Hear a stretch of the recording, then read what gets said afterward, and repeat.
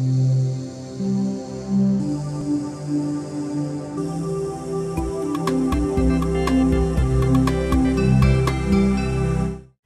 Nina, Nina, Nina, zovu me Lijepa, ali sama ljudi govore Nina, pozdravljamo te. Evo te u središtu najljepšeg grada na svijetu, Splita. E, kojim povodom, reci mi?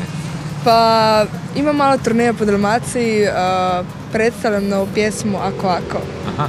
Ti si inače slovenska pjevačica, već na jedan način e, drugu godinu pokušavaš se nametnuti na hrvatsko glazbeno tržište. Kako ti ide? Kakve su informacije i koliko si zadovoljna dok si tu? Bila sam i prošle godine na Simsi festivalu, dobila nagradu, nagradu za novu izvođačicu godine. Uh, tako da ove godine se vraćam i jako mi je drago da mogu nastupiti tamo i nekako pokušam probiti let ovdje na Hrvatskom. Imaš i nekakvi svoj profesionalni posao, vikendom sa svojim bendom pokušavaš a, živjeti glazbu i ono što mi je posebno drago, sa svojim glazbenim talentom pokušavaš se nametnuti hrvatskoj publici. Kako uspijevaš sve to i životno organizirati, posebno vremenski? Pa znaš šta, ja nemam nešto posebno slobodnog vremena.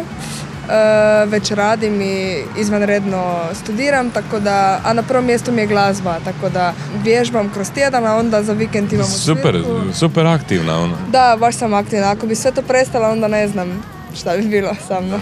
Ovaj glazbeni e, tvoj život e, ima podosta iskustva. Već kao mala osjećala si glazbu u sebi, kao tineđerca, već si stala pred mikrofon, ali kako je to pa, krenulo? Kad sam bila mala sam imala svoju klavituru, već sam tad počela, pokazivala da mi je glazba nešto više u životu.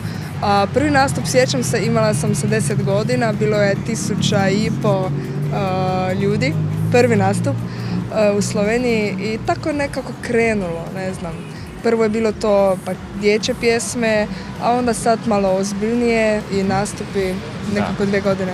U Sloveniji tvoj glazbeni život se razvija onakvim dobrim tempom kako si Pa- zamislila? Pa je, je.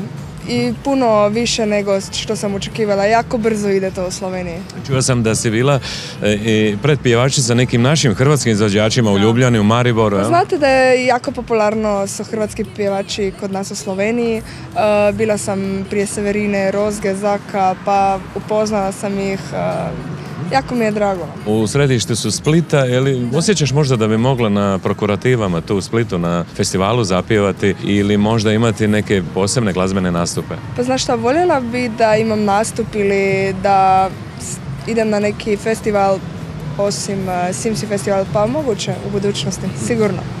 Vidjeli smo, izdala si novi CD, Croatia Records, glazba je u stilu zabavna, pop, ima i laganica. Da. To je tvoj stil, je li? Pa da, tako sam se odlučila. Moram reći da sam jako zahvalna Croatia Record- Records jer oni su me podržali baš na početku kad nisam imala ni pjesme i baš sam sretna da mi je neko pomogao ovdje u Hrvatskoj. I upravo taj CD promoviraš na televizijskim i radijskim postajama, novinama. Da, da, upravo sad to. Na njemu je 11 pjesama, to nekako predstavlja rad e, mog sad života posljednjih dvije godine, moje pjesme, mene. Ko su suradnici e, Nina?